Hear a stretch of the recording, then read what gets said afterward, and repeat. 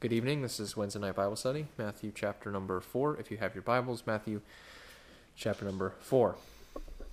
So, in the uh, uh, advent here of Jesus Christ and his earthly ministry, he begins, uh, obviously, his ministry with a message.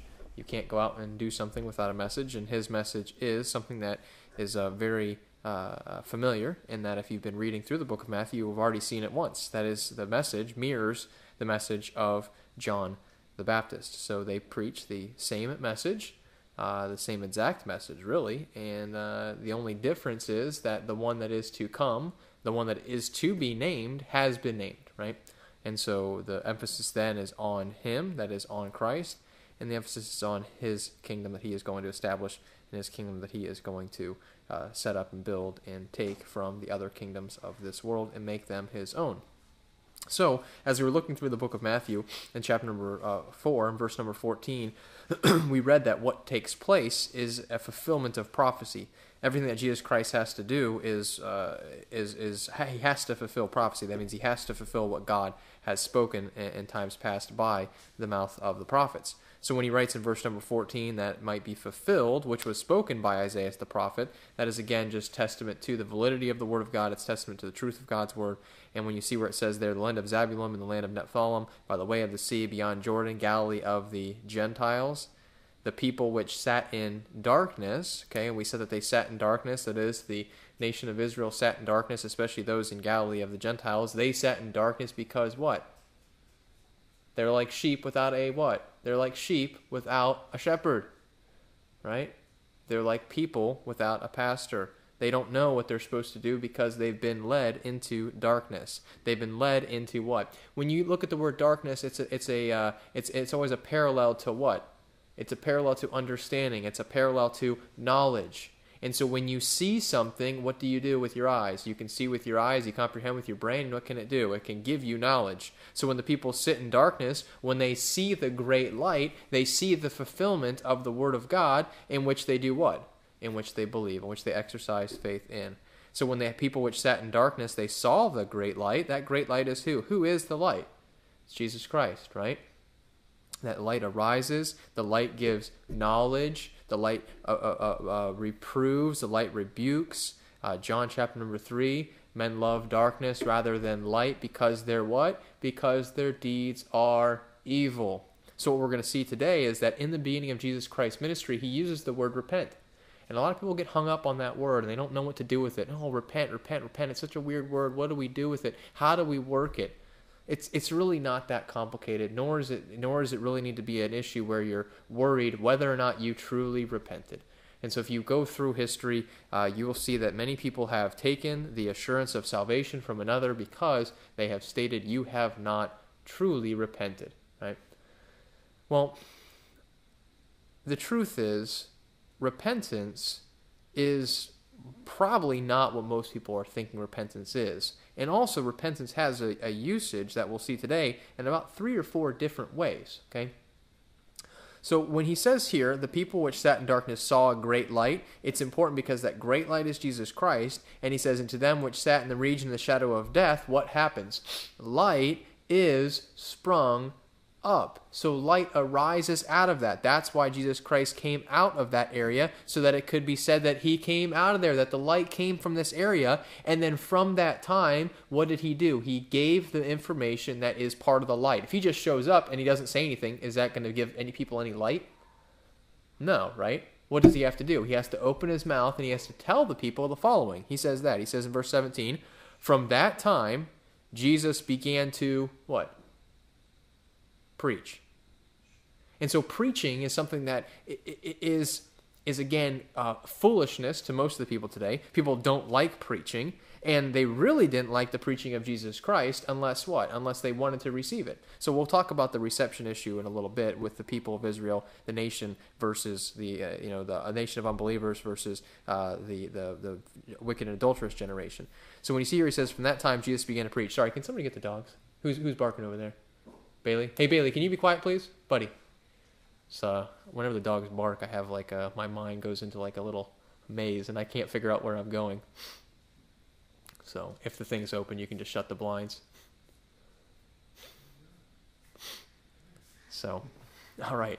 So you get to hear this. This is real world here. We're doing this live here. We're doing a real, real world Bible study in a home with two dogs who love to bark at any possible animal that goes by. So, all right. So when he says here, for that time Jesus began to preach, the message of Jesus Christ is a message that has already been preached. So what is what is people what do people like to do when you preach? Preaching is something that you should what already know, right? So the preaching here is the preaching of the message of John the Baptist. Okay, so when you look at Matthew chapter uh, three in verse number one, remember what he says there. In those days came John the Baptist preaching again, same thing that Jesus Christ is doing. They're preaching, and they're preaching in the wilderness of Judea and saying what? Repent ye. Okay, repent ye. Then a colon. And then the reason why you're going to repent, the reason why you're going to repent is what comes after the colon. Right? That word for right? For the kingdom of heaven is at hand. Well, why should I repent? That's the that's the question. The answer is for the kingdom of heaven is at hand. Repentance is an understanding that results from illumination that effectuates a change of mind. I'll say that again. That's based upon this text here repentance, right? So these people are they sat in darkness, they see a great light, and now they're going to repent, right? They're, they came the, the shadow of death, the light sprung up. Now they're going to see the light, and what are they going to do? Well, they have an understanding now because Jesus Christ is preaching that the kingdom of heaven is at hand, and this illumination that they have effectuates in a change of mind. So understanding that results from illumination that effectuates a change of mind. Okay? So the reason why these people are going to repent is the kingdom of heaven is at hand. And when it is at hand, that means it's ready to go. It's ready to be established. Okay? It's there. It's it's right there in the midst of them. Okay? So when he says repent, the kingdom of heaven is at hand, I want to make it very clear that the reason why they're going to repent and what they're going to repent of is yes, they're going to repent of sin. No doubt. Right? Are they going to repent of sin? Yeah. Sure. Go back to Matthew 3 you can see over here in Matthew chapter number 3, he says, Repent ye, for the kingdom of heaven is at hand. Okay? So the kingdom of heaven is at hand. Does that tell you any reasons why they would be out there baptizing and confessing their sin? Right? Well, no. What would that mean? The reason why they're confessing their sin is the, is the call to repentance. It's the call to telling them to repent, calling them to change their mind and saying this action, this behavior that you're doing is unacceptable. And the reason why you should do this and listen is that the kingdom of heaven is at hand. And what accompanies the kingdom? What directly precedes the kingdom? Judgment. Okay? And what and who does judgment come upon? It comes upon sin, it comes upon the disobedient, correct? So, what God is trying to do here through Christ is trying to do the same thing that he's trying to do with John the Baptist. That is, prepare the people, right? He says in verse number uh, 3 3 of chapter Matthew, Prepare ye the way of the Lord, make his paths straight, right? So the, the, the idea is that if you're straight edge, when I was growing up in the fundamental circles, oh man, you're real straight edge. You ever heard somebody say that before? You're real straight edge. And then I had a friend who created a band in high school. You could probably look them up, Google them. It's called Crooked Edge. And they created the band called Crooked Edge just because they didn't want to be so straight edge, you know? They want to take the crooked way. And, and so straight implies the right way, it implies the correct way. And so this straight path says make his path straight. It's like, you know, do what's supposed to be done and so that you can prepare that way so that when he comes, he doesn't have to do what? He doesn't have to smite the earth with a curse, Malachi chapter number 4, right? So we looked at some of those passages. So really, there is a, a, people that he's trying to prepare for the Lord. It's not just you know uh, uh, that he wants them just to to confess their sin. He wants them to be prepared. And the reason why is this: Does sin prevent service? Yes. Can sin prevent belief? Yes. Look at Matthew chapter twenty-one. Matthew chapter 21, sin can prevent belief. Look at uh, Matthew chapter 21 in verse number um, 23. And when he was come into the temple, the chief priests and the elders of the people came unto him as he was teaching, and said, By what authority doest thou these things? And who gave thee this authority? And Jesus answered and said unto them, I will also ask you one thing, which if ye tell me, I and likewise will tell you by what authority I do these things. The baptism of John, in which we're going to look in a second, was repentance, right? For the what? For the remission of sins. So the baptism of John, which was the baptism of repentance, saying that they should believe on him who is to come after, and they were to do what also? They were to confess their sins in the Jordan. And he says, The baptism of John, whence was it? Meaning, did it come from John, or was this something that God had ordained, that is, he was a prophet? Is it from heaven or of men? And they reason with themselves, saying, If we shall say from heaven, he will say unto us, Why did ye not then believe him? But if we shall say of men, we fear the people, for all hold John as a prophet. There's that distinction. The distinction between who? The wicked and adulterous generation, and who? The, the generation of vipers and the unbelieving Israel portion, right? The, the, the, the, lost sheep. Verse 27 they lie and say, and they answered Jesus and said, We cannot tell. And he said unto them, Neither tell I you by what authority I do these things. Verse 28 But what think ye? A certain man had two sons. And he came to the first and said, Son, go work today in my vineyard. And he answered and said, I will not. But afterward he did what? He repented and went. So what came first? The change of mind that does what? Results in the change of what? Eventually the change in action. So if he went and did, you would result if he if he said, he answered said, I will not, but afterward he repented, well what did he repent? He changed his mind, right? He decided, yeah, okay, I'm gonna go do it. I will not, now okay I will, right?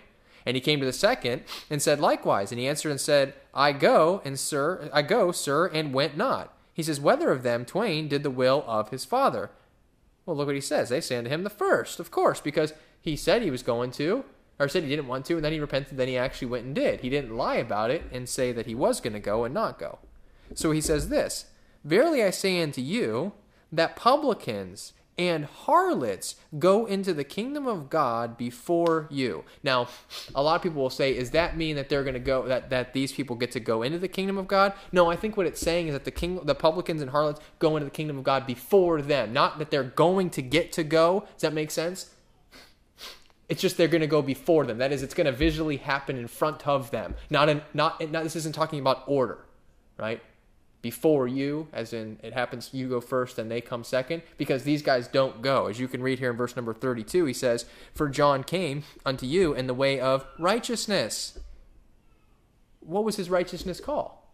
Well, not sinning, confessing your sin, being righteous, even as your Father which in heaven is righteous, right? And he says, And ye believed him not, but the publicans and the harlots believed him. And ye, when ye had seen it, so when you saw the publicans, when you saw the harlots, when you saw John come in the way of righteousness, what did you not do? You did not repent afterwards, that ye might believe him. So what happened?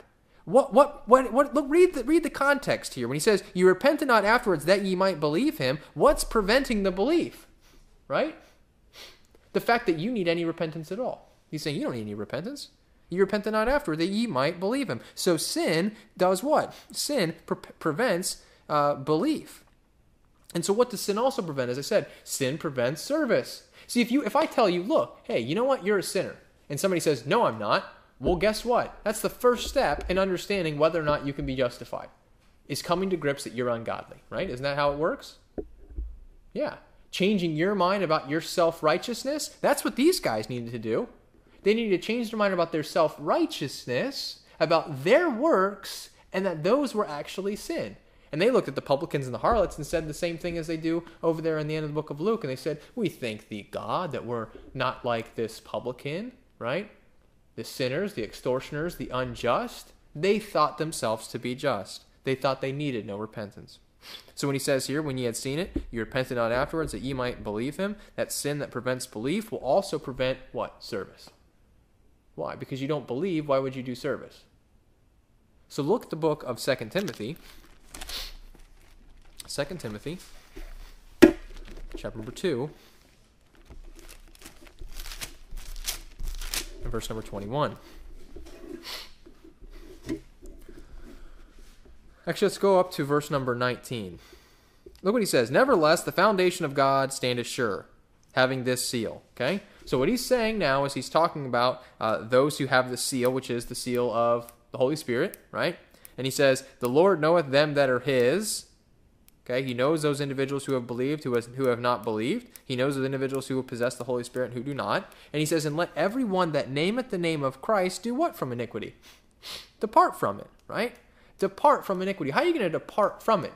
What does that mean to depart from it? Well, look what he writes. He says, But in a great house, okay, there are not only vessels of gold and of silver, but also of wood and of earth. So what he's explaining is like, look, even in the body of Christ, there's what? There are some serious problems. These guys are out there doing things that are dishonoring. He says some to honor and some to dishonor. Verse 21 How can we depart from iniquity? How can one uh, not be uh, one of dishonor? He says, If a man therefore purge himself from these, from what? From iniquity, from the dishonor. He says, He shall be a vessel, and a vessel does what? It carries. A vessel is used to transport. He says, A vessel unto honor. Sanctified, that means to be set apart. And meet, that is, it's ready to go. It's it's uh it's it's now the acceptable time, he says, and meet for the whose use? Master's use. And so the master's use is not sin, right? Is, is, is God the minister of sin? No. Who does the sin? Your flesh does. If we seek to be justified, right, by faith, and we sin, what does Paul say? Does that make Christ the minister of sin? No. So he says it's prepared unto every good work. So what happens is that the, the, the, the, the sin prevents belief, and then sin prevents the service. So these people pre- prepared for the master's use is exactly what God is trying to do through John the Baptist, and he's reiterating it through the preaching of Jesus Christ. He's telling them, look, how can you go out and tell all the nations of the earth about the law of Moses? How can you go out and tell all the nations and instruct them in the way of righteousness when you yourselves don't practice righteousness? Is anybody going to listen to you? Probably not. What's the biggest detriment to a believer today in terms of their ministry? When somebody would say, Oh, I have no clue. I would have never thought you were a Christian, right? Well, great. That's not a good thing, you know. It can be a good thing in terms of uh, if they're if you're super you know legalistic or religious, but most of the time people will say because you're not exemplifying good works, it's because you're not having a difference that is seen in terms of your ministry, in terms of your service. So from the time that Jesus begun his ministry, from the very beginning, he preached and he preaches and he preaches and he preaches. And we're going to see that he preaches and teaches all throughout the synagogues. And the thing that he always preaches, now he teaches there in the synagogues, but he also preaches. And what he always preaches is the kingdom of heaven. And in particular, he, he preaches the gospel. Okay? If you look at uh, verse number 23 of Matthew 4, he says, And Jesus went about all Galilee, teaching in their synagogues and preaching the gospel of the kingdom and then what follows all that is the signs, the wonders, the miracles, all those things that the prophets have spoken, which which will uh, obviously signify that the kingdom really is here, and that the man Christ Jesus is the Son of Man, that He's going to actually happen. Okay. So look over at the book of Mark, and let's look at this word repentance used here and what is also accompanies with it. So as I said, sin prevents unbelief, or sin prevents belief. Sin creates unbelief. In Mark chapter number 1, in verse number 15, we see exactly what Jesus Christ says, okay? John, Mark 1:15, 14 it says, "Now after John was put in prison, Jesus came into Galilee, preaching the gospel of the kingdom and saying the following. Look at this. The time is fulfilled. What time is fulfilled? Whenever you see that, you got to realize, look, he's talking about something that he's got a timetable in his head, right? Jesus Christ has a timetable. In his mind, he's thinking the time is fulfilled. How many people today have no clue about the timetable of God? They, could, they, they have no clue what the timetable of God is. And so when Jesus Christ says the time is fulfilled, you can look at that Isaiah 60 and Isaiah 61, especially in verse number 2, where the acceptable year of the Lord is, is happening, and Jesus Christ comes out and does his ministry, and he says the time is fulfilled. And look what he says And the kingdom of God is at hand. because that's a prophesied event, right? Repent ye, and then he puts this additional issue on there and do what? Repent ye and believe the gospel. Okay? So now the question becomes this Is repentance belief and is belief repentance? Well, sometimes repentance is belief and sometimes belief is repentance. Repentance is not a work, so let's make that very clear. So that when you repent, that is, you change your mind, it does result in works. It can result in works, right? Can you change your mind but then not do the works that follow? Sure, right? It's absolutely possible. Now, is that the will of God for you to do that? No. You say, oh, that's sin, but you don't stop it. You see that sin, but oh, I'm not, whatever it is. Oh, I need to go do that, but I'm not going to. You change your mind about it, but it doesn't result in the action. The action is the work, the repentance is not. So he says, Repent ye and believe the gospel. He's giving them a command to exercise faith, and in particular, the faith is in the gospel. What what believe the gospel? What gospel? Well, as we can see here, that the kingdom of heaven is at hand, that's the gospel throughout all the scripture, especially in the New Testament, you can read about people who, like uh, Joseph of Arimathea, right? He waited for what? He waited for the consolation of Israel. Other people like uh, Anna and, and, and Zacharias and these other guys, they waited for redemption. They waited for hope. They, uh, you can look and, and those two on the road to Emmaus, right? Uh, we talked it was probably Cleophas and, and, and, and, and his wife that were on the road to Emmaus. And those two individuals, they did what? They said, oh, we thought it was going to be he that was going to redeem Israel. So these people had in their mind a good news message about the redemption of the nation of Israel that was going to take place because God had promised that it was going to occur. So let me give you a verse that really helps give you all the different various usages and forms and types of the word repentance. If you look at First or Second Corinthians chapter seven, it's a good verse that goes through it. Okay.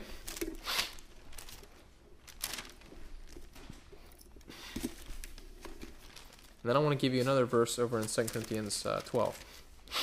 2 Corinthians chapter number 7, the Apostle Paul writes this. He says, Look at this. So, so uh, uh, he, he's talking about his boldness of speech toward him. He says, "Look, when I did this, I'm not doing it for our, my, my own sake. I'm doing it for your sake. I'm trying to help you out." And he says, "For though I made you sorry with a letter, okay, I do not repent." Okay, so let's figure this out. He says, for, I, for though I made you sorry with a letter. So he wrote a letter to the Corinthians, and did it make somebody sad?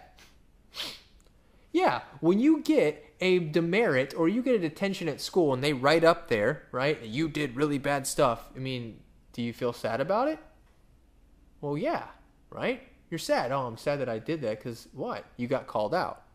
For though I made you sorry with a letter, I do not repent. Now, is there any sin that the Apostle Paul did in writing that letter? No. That letter was good. Now, what does he say? I do not repent. Why? He says, I made you sorry with the letter, but I do not repent because there's nothing that I was to repent of. What I did was correct. I didn't need to change my mind. I was not sorrowful. Look what he did, though I did repent. So, how can he say, I do not repent, though I did repent? How can somebody say, No, I, I did, I do not repent, though I did repent? right? How does that work? Well, what does he do? He's not he's not going to change his mind about what happened, but he's what? He's like, I was sorrowful. I was sorrowful at what happened. I was not, you know, happy with the circumstances of as how this worked in terms of your lack of sanctification. He says, For I perceive that the same epistle hath made you sorry though it were but for a season. So when he wrote it, they were sorrowful in the reproof of their sin. He says, Now I rejoice. Wow. So, but he was repenting, remember? So I do not repent, though I did repent. So he was sorrowful. But then he says, Now I rejoice. Not that ye were made sorry. So we see how he's saying about repentance and sorrow? Were they sorrowful? Yes. But look what he says. Now rejoice not that ye were made sorry, but that ye sorrowed. So what happened before the repentance? You sorrowed to repentance. You sorrowed to a point in which you said, What? Yeah, that is not acceptable. And it resulted in a change of mind. Look what he says in verse 9 again. For ye were made sorry after a godly manner. That is illumination, understanding that comes by the word of God that effectuated a change of mind. And when they saw that, he says, But they sorrowed to repentance, for you're made sorry after a godly manner, that ye might receive damage by us nothing. He says, What I wrote you, at first you said, What? I'm sorrowful and it hurt you. Then, as the time went on and you processed that information, it worked into a godly sorrow that worked itself out into a repentance, into an understanding, right? So you have that change of mind that then results in ultimately the, the works, the change of action. He says, For godly sorrow worketh repentance to what? To salvation. This or or deliverance. From what? From the bondage, from that captivity of the sin, the bad doctrine, etc. He's not talking about for godly sorrow worketh repentance to salvation to eternal life, right? You follow me? Anytime you read the word salvation, all people think about is saved, saved, are you saved, saved, saved, are you saved, saved. I mean, how many people say that word all the time? Right? It's talking about salvation and deliverance there. And he says, not to be repented of. Wow, this you see how many times this word repent is used? I mean, it's one, two, three, four, five. It's been five times already, and it's, I mean, it's pretty intense here, all the different variations of how it's being used. But he says, For godly sorrow worketh repentance to salvation. That is, it works itself out into a change of mind in which actually can help you. And he says, not to be repented of. Isn't that crazy?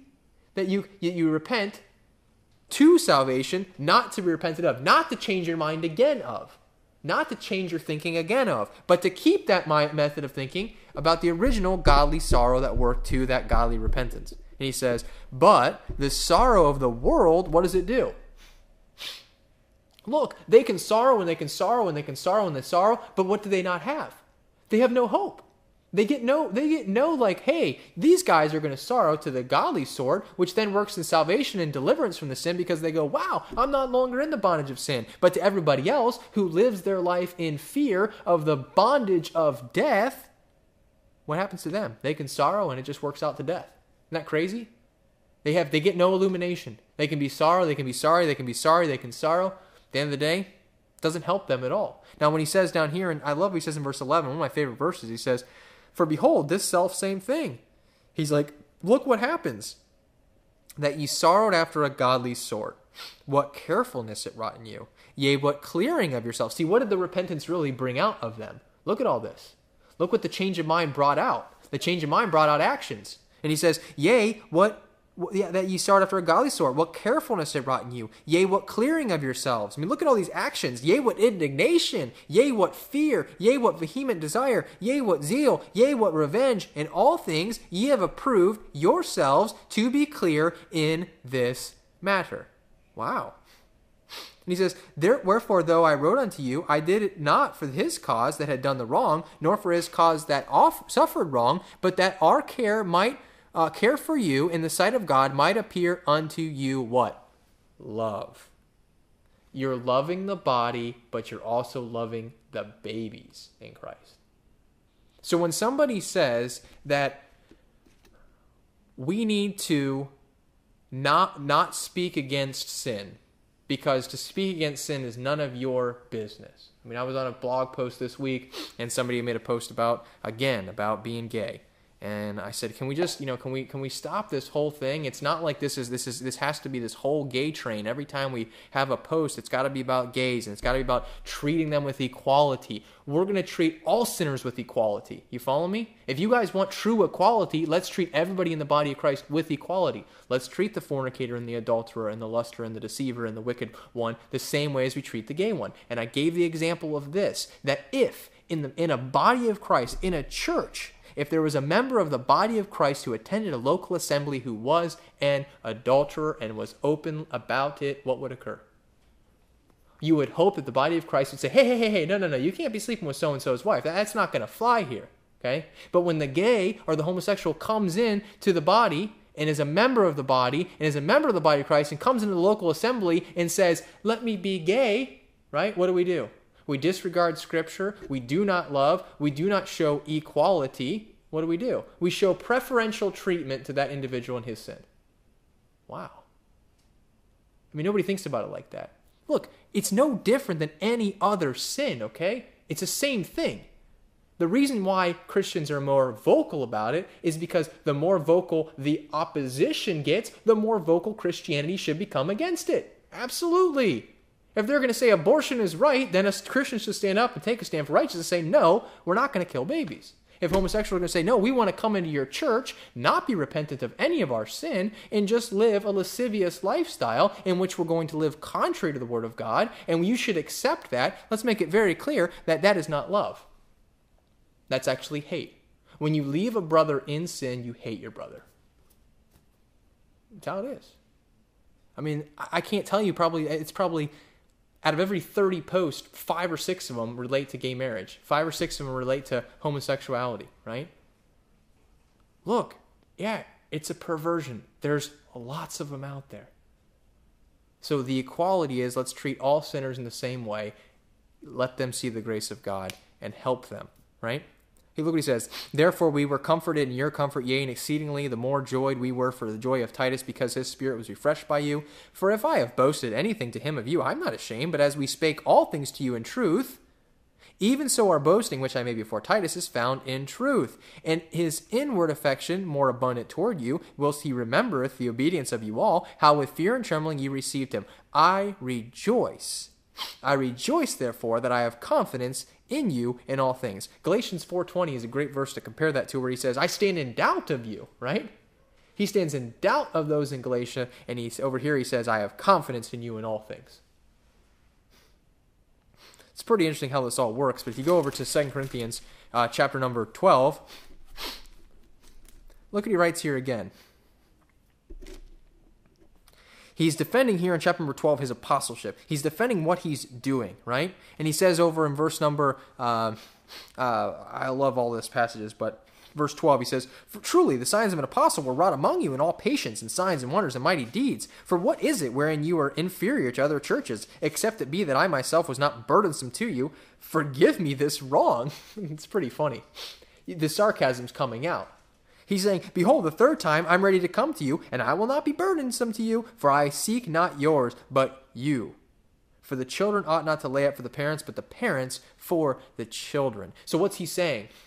He's saying the parents, the children don't get all rich and pay the parents. He's their godly father. He's the one that has has bore them in the spirit, and he says, you know what? I'm laying it all up for you, and I'm going to give it all to you free of charge. And he says, and I will very gladly spend and be spent for you. When you have a little kid, you'll spend as much money as you possibly can your little kid. You'll give them whatever you want. It doesn't matter. People are like, don't spoil your kid. It's impossible not to. You just love him so much, like, what do you want? I will give you anything because you desire so much to see that child happy. You desire so much to see that child fulfilled. And so that's what Paul's seeing in these people. He's saying, I'm going to give you everything I have to be members of the body of Christ that are functional. And he says, the, uh, uh, through though the more abundantly I love you, the less I be loved. I love that. Read that again. I will very gladly spend and be spent for you, though the more abundantly I love you, the less I be loved. Wow. That, that could be a comparison between Christ and the church. You know? The more Christ loved them, the more, more the church just says, eh. He says, But be it so, I did not burden you. Nevertheless, being crafty, I caught you with guile. Look at this, verse 17. Did I make gain of you by any of them whom I sent unto you?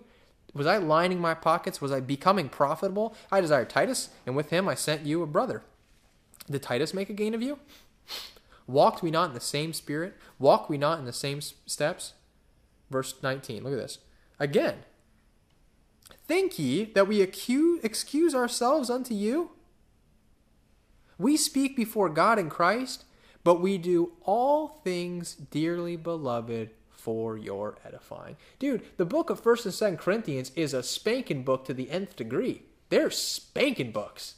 I mean, no there's no like uh, okay, guys, I know you want to sleep with your uh, your your father's mother, and uh, you know what? Why don't you just keep that down just a little bit? Don't, only do it on the weekends. Don't be so. No, what does he say? He says, "Deliver such an one to Satan for the destruction of the flesh, that the spirit may be saved in the day." Whoa, I mean, that sounds like it's crazy. If you preach that in the church today, people would do what? If you if you actually said, "Them that sin rebuke before all that others may fear," I literally posted this on the blog, and people said they, they, they I love just posting verses and you can you have an option to upvote or downvote. You can up the vote or you can down the vote and just watch all the downvotes you get just for quoting verses. And I'm like, God, I'm sorry that they just dismiss your word. But what's really funny is I get one or two private messages of somebody saying, dang, you're preaching it so hard, and these people hate it. And I'm like, yeah, but it's so rewarding because it's like, this is what you need. Even though you don't want it, it's still so good for you. The guy said, you know, it's none of your business. You, sh- you don't have to be, you know, so uh, demeaning in how you say it. I said, hold on, let me ask you a question. Does the truth change based upon the delivery of the truth. Does it? Does the truth change based upon the delivery? No. What does change? The acceptance of the truth. But the truth is constant. And to that, many people don't like. Now, is there a method of, of, of presenting the gospel? Yes. Is there a method in presenting reproof and rebuke? Yes. But is there a point in time in which you put your foot down, you have a zeal, and you have a righteous indignation? Yeah, absolutely. Now, is, can somebody call you out and call you a sinner? Yep. But as we've all said, if only sinless people can rebuke, nobody can rebuke. Titus 2, right? So, looking at what's happening there in Matthew chapter number 4, the reason why he's so bent on getting these guys to repent and to, and to live, get their life cleaned up is because he tells them just in a couple verses, he says, Let your light so shine before men that they may see your good works and glorify your Father which is in heaven. The purpose is the teaching, the purpose is the instruction in which they say, Look, here's how you do it. It's like this guy, right? But what is it ultimately coming back to? Incapability, incapability, incapability, incapability, incapability, not possible, not possible, not possible. Be perfect, even as your heaven Father which is in heaven is perfect, is not possible. Look what he says in verse number 20 here. It says, For I fear, lest when I come, look at this. Now he's got a little bit of fear. So he was all excited. He's got confidence in him. And now he's getting back and he's remembering what's going on about this issue. And he says, For I fear, lest when I come, I shall not find you such as I would, and that I should be found unto you such as ye would not. Right? He goes, You're going to find me, and I'm going to have the cat of nine tails. Remember what he says? What will ye? Remember that? Remember that verse? What, what will ye? Shall I come? With, uh, you know, how am I going to come when I see you? Look what he says. For I fear lest when I shall come, I shall not find you such as I would, and that I should find you, find unto you such as ye would not, lest there be debates. What's how funny is it that he gets the first thing he says is debates of anything? Because what is the debating issue? It's just that work of the flesh going back and forth, back and forth, back and forth, back and forth. It's crazy. He says, debates envyings, wraths, strifes, backbitings. What, what is this all about? This is about the body of Christ doing what? Fighting against itself. Right? Don't hit yourself. Don't hit yourself. Don't hit yourself. Don't hit yourself. That's what the body of Christ is doing. That's what Paul's like, dude, stop hitting yourself. Dude, stop hitting yourself. You're making this thing a mess. Right? It's like it's like the left leg wants to run and the right leg just keeps kicking it to trip it. Right? Getting in front of it, tripping it, all that type of stuff. And that's what happens with the body of Christ. He says strifes, backbiting, whisperings, swellings, tumults. And he says, unless when I come again, what's he do? My God will humble me among you. So he humbles him and saying, wow, man, you know, I just see how, how messed up, how messed up and sinful you guys really are. And look what he says, and that I shall bewail. So, you know, here's the thing. When people say, just be super nice and, just get your nice voice out here. No, there, there reaches a point in which what happens? You know, when your dad used to say, he'd be like, Jason, I want you to come over here, right? And you'd be like, no, no, I don't want to come. He'd be like, I'm going to give you the count to three to get over here, right? I mean, please tell me somebody else's dad did that. And your dad would be like, one, and there was that one time you're like, I ain't coming. Two, three, and you just sat there and you stared your dad in the face. Then my dad's like, all right, gets the belt off, and I'm like, oh no. And then I come running. And then my dad's like, nah, it's too late. We're getting a whipping now. And what does he do? He bewails many. Look what he does. He bewails many which have sinned already. And what's he say? You're all going to hell. No, he doesn't say he's going to hell. What is he saying he does everything for? He does everything for their edification. So bewailing people because of their sin is edification? Yeah.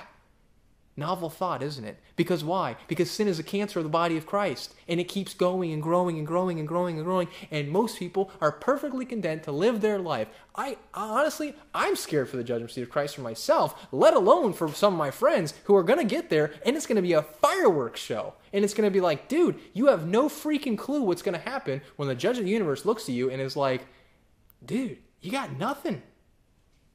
You got nothing. Zero. This much. He says, I shall bewail many of you which sinned already and have not, look at this word, repented of uncleanness. So you can repent of uncleanness, apparently, right? And you can repent of fornication, and you can repent of lasciviousness, lasciviousness which they have committed, right? Wow. Not, not that hard, okay? Not that hard to see. So, you know, we've been going for 40 minutes. So the big word for, you know, why they're repenting is for the kingdom of heaven is at hand. And with the kingdom comes judgment. Okay? Judgment starts where? Starts first with who? Starts first with Israel part of the reason of Jacob's trouble of the tribulation is, is because of Israel's sin, but also for the sin of the world. And during that time, it's another chance to purify the nation, to sanctify them of their uncleanness. And we'll see that the reason why God wants them to repent and believe the gospel is so that they can repent, believe the gospel, participate in the baptism of repentance for the remission of their sins. And the remission of their sins is so that their sins are not held against them so that they can participate in the blessings that we're going to read about in Matthew chapter number 5. Blessed, blessed, blessed, blessed. They can get those things, right? Remission, not facing the punishment for sin, so that they can be a people, in Luke chapter 1, verse 17 says. Luke 1 17 says, so that they can be a people prepared for the Lord. Look he says, Luke 1 17.